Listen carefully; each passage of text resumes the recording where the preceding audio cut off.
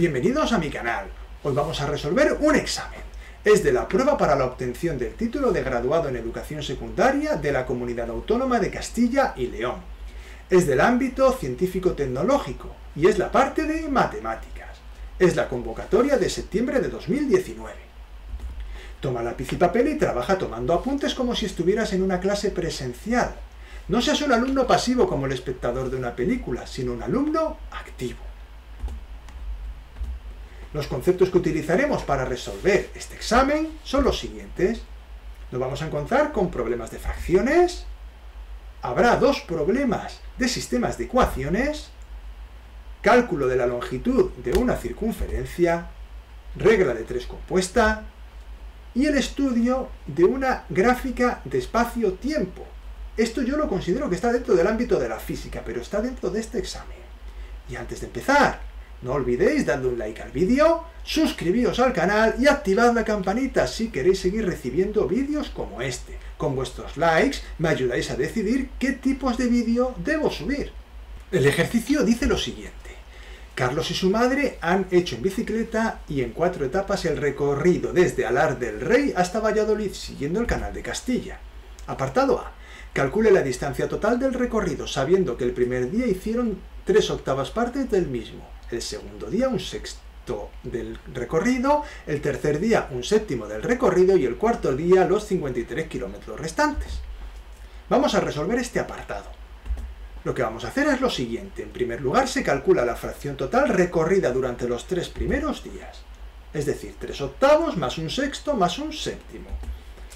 Para poder hacer esta operación haremos el mínimo común múltiplo de 8, de 6 y de 7. 8 es 2 al cubo, 6 es 2 por 3 y 7 pues es un número primo y por lo tanto pues es igual a 7. Para hacer el mínimo común múltiplo se toman los elementos comunes y no comunes elevados al mayor exponente. En nuestro caso son el 2 al cubo del 8, del 6 tomamos solo el 3 ya que el 2 está elevado a un exponente más pequeño y cogemos el 7. Hacemos la operación, 8 por 3 por 7 da 168 que es el mínimo común múltiplo. Ya podemos hacer la suma 168 entre 8 por 3 da 63, 168 entre 6 por 1 da 28 y 168 entre 7 por 1 da 24.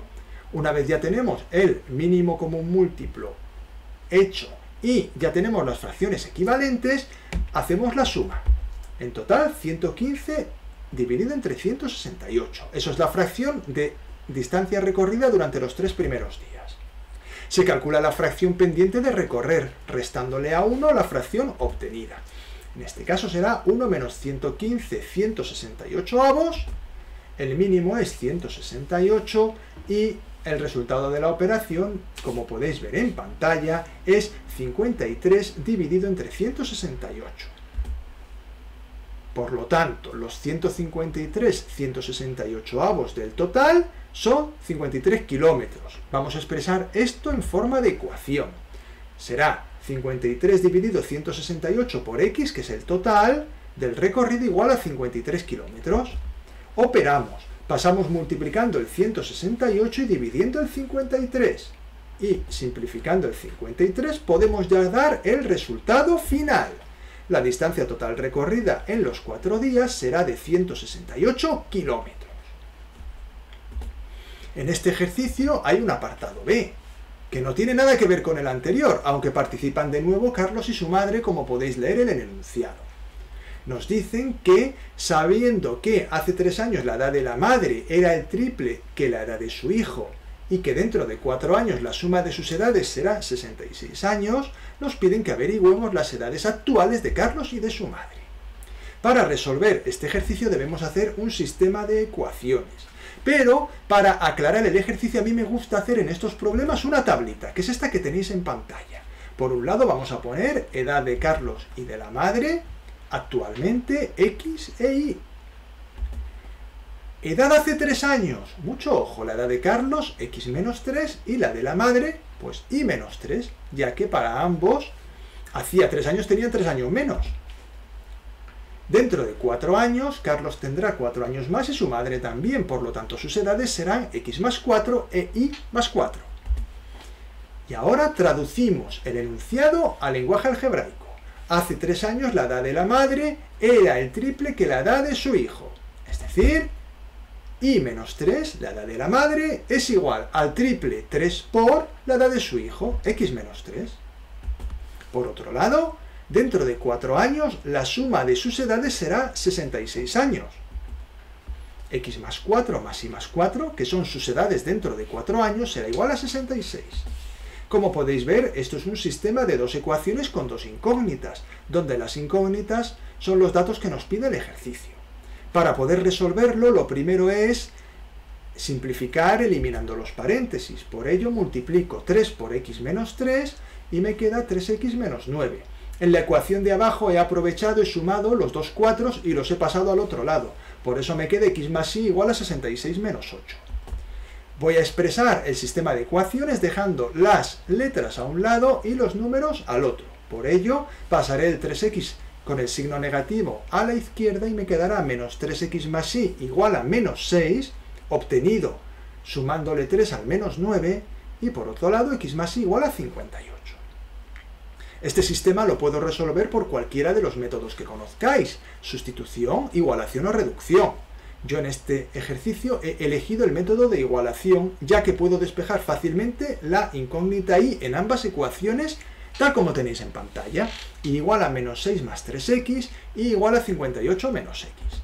Igualo las dos ecuaciones, 58 menos x igual a menos 6 más 3x. Y ahora ya simplemente tengo que resolver esta ecuación de primer grado. Paso el menos 6 sumando al 58 y el menos x se lo sumo al 3x. Y despejando podéis ver en pantalla que x es igual a 16. Ahora sustituyo en una de las dos ecuaciones, la que más rabia me dé, y igual a 58 menos x me parece más fácil, y me queda igual a 58 menos 16 igual a 42. Y ya damos el resultado. Hoy Carlos tiene 16 años y su madre tiene 42 años.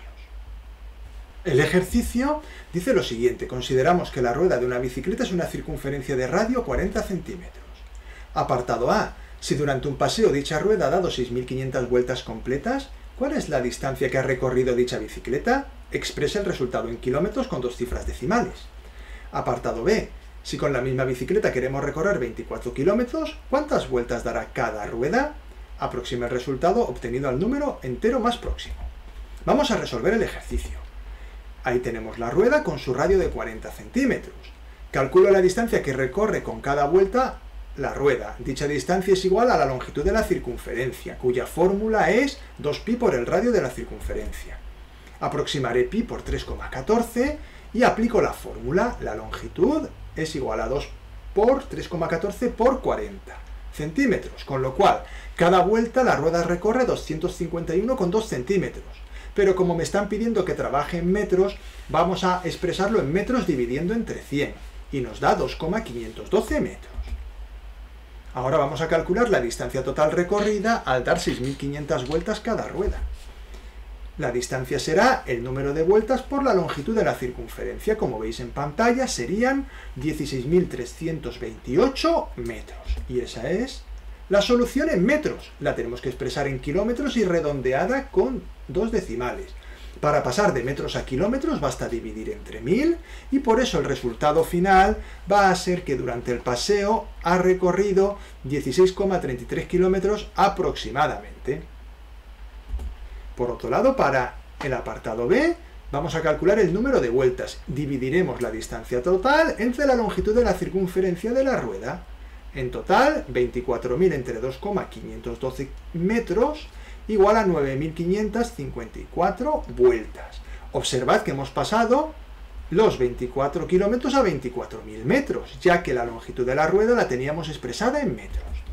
El resultado final, durante el paseo de 24 kilómetros, cada una de las ruedas ha dado 9.554 vueltas. El ejercicio dice lo siguiente, en una empresa de prendas deportivas se necesitan 15 personas para fabricar 480 camisetas en 8 días. Apartado A. ¿Cuántas personas hacen falta para fabricar 600 camisetas en 6 días? Apartado B. ¿Cuántas camisetas fabrica una persona cada día en dicha empresa? Vamos a resolver el ejercicio. Se plantea una regla de tres compuesta. Personas, camisetas y días. Ponemos la primera relación, 15 personas, 480 camisetas, 8 días. Y la segunda parte, X personas, que es lo que nos piden, fabricarán 600 camisetas en 6 días. A mayor número de camisetas fabricadas, mayor número de personas serán necesarias manteniendo el número de días. Por ello, la relación entre el número de camisetas fabricadas y el número de personas es directamente proporcional y lo anotamos ahí. Por otro lado, a mayor número de días, menor número de personas se necesitará para fabricar una cantidad concreta de camisetas.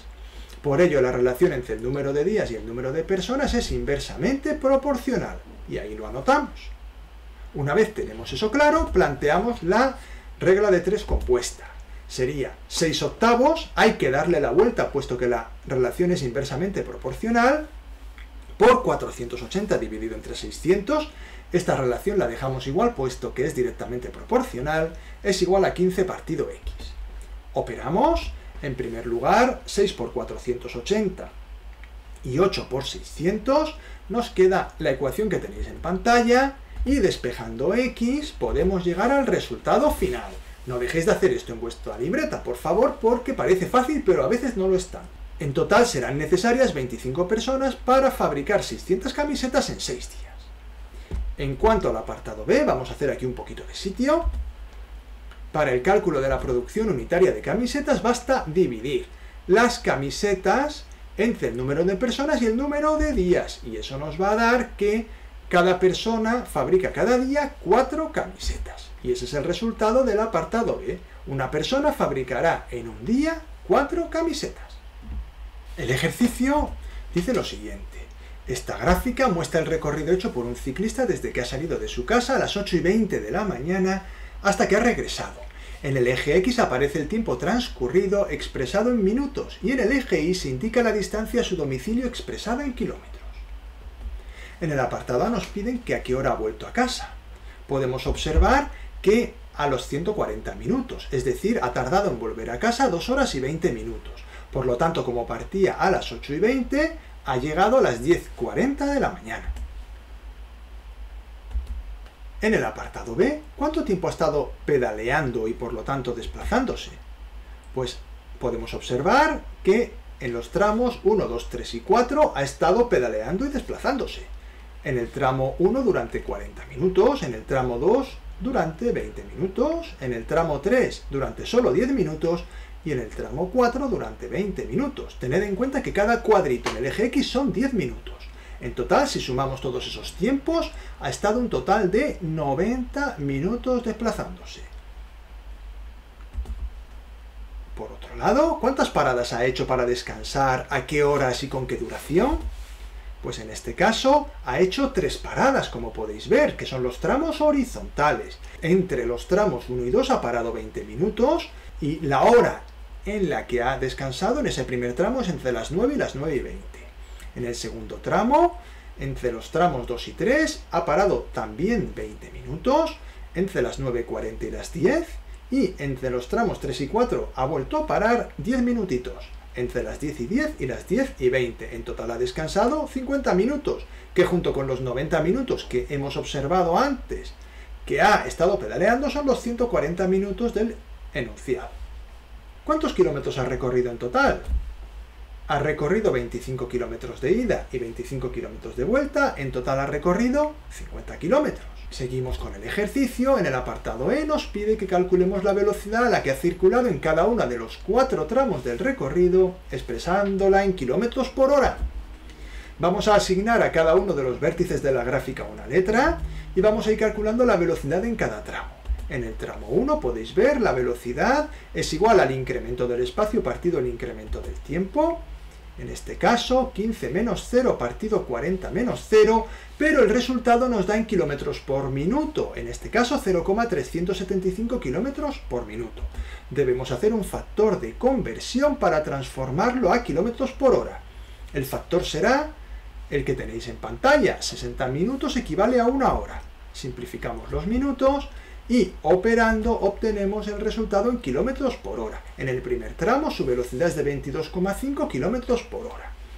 Para los tramos 2, 3 y 4 vamos a trabajar de forma análoga, Por lo tanto, os recomiendo ahora mismo que paréis el vídeo y lo intentéis hacer por vosotros mismos para aseguraros de que lo habéis entendido. Yo por mi parte voy a continuar, pero voy a ir un poquito más deprisa, ya que es exactamente igual que lo que hemos hecho en el tramo 1. En el tramo 2 aplicamos la misma fórmula, solo que ahora es entre los puntos C y D, y obtenemos una velocidad aplicando el factor de conversión de 15 km por hora. Para el tramo 3, mismo procedimiento, solo que ahora es entre los puntos E y F. Y atención, aquí hay un cambio. Aplicando la fórmula la velocidad nos sale negativa. Es lógico, porque estamos regresando. Pero nosotros vamos a expresar como resultado final la velocidad como un número positivo, 60 km por hora. Y anotamos, la velocidad sale negativa porque se está acercando al punto de partida. Pero la ponemos positiva en la solución porque consideramos positivo el sentido de avance del ciclista. Es decir, el ciclista avanza a 60 km por hora. Pero en física la forma de expresar que está regresando a casa es poner un número negativo. Pero su velocidad realmente es 60 km.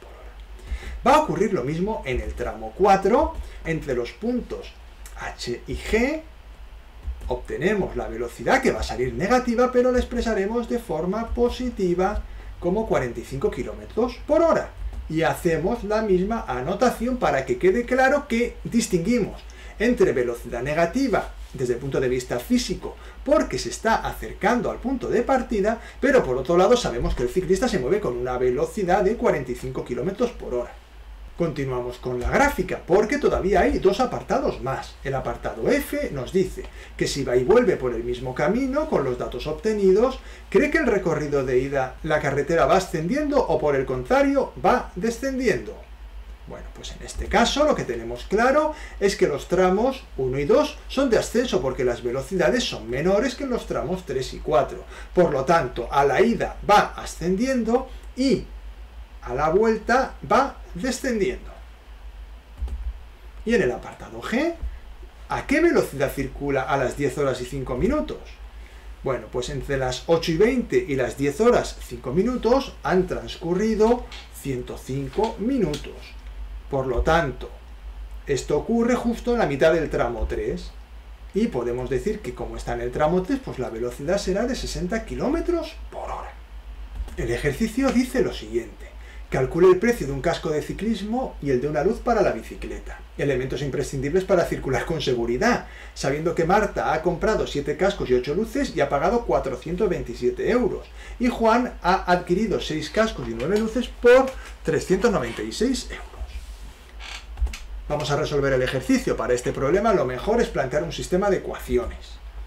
Vamos a definir las incógnitas. X es el precio del casco e Y el precio de la luz. Sabiendo que Marta ha comprado 7 cascos y 8 luces y ha pagado 427 euros, planteamos la ecuación siguiente. 7 por x más 8 por y igual a 427 euros. Mientras que Juan ha adquirido 6 cascos y 9 luces y ha abonado 396 euros. La ecuación sería 6 por x más 9y igual a 396. Ahí tenéis el sistema planteado. Resolveré el sistema de ecuaciones utilizando el método de reducción, aunque vosotros podéis utilizar el que creáis más conveniente. En este caso yo, como no veo ninguna incógnita fácil de despejar, ya que en todos los casos me quedaría un denominador, he preferido utilizar el método de reducción. Lo que vamos a hacer es multiplicar por 6 la primera ecuación y por menos 7 la segunda, obteniendo las ecuaciones que tenéis en pantalla. Y ahora lo que vamos a hacer es sumarlas. De esta forma se elimina la x y nos queda la ecuación.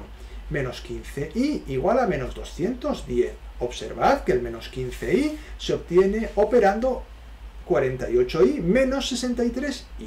Y el menos 210 operando 2562 menos 2772. Despejamos la y y nos queda que y vale 14 como tenéis ahí en la pantalla. Ahora sustituimos la i en la primera ecuación. Por poner un ejemplo, podía sustituir en otra, pero yo he preferido la primera. Ahí la he movido ya. Y donde pone i pongo 14, quedándome 7 por x más 8 por 14 igual a 427. Ya solo nos queda despejar x. Operamos y llegamos a la conclusión de que x es igual a 45. Ya podemos dar la solución del ejercicio. El casco cuesta 45 euros y la luz 14 euros. Y hasta aquí ha llegado el examen de hoy. Espero que os haya ayudado a resolver las dudas que pudierais tener.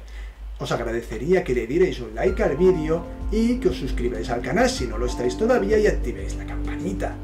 Muchas gracias por vuestra atención y nos vemos en el siguiente vídeo.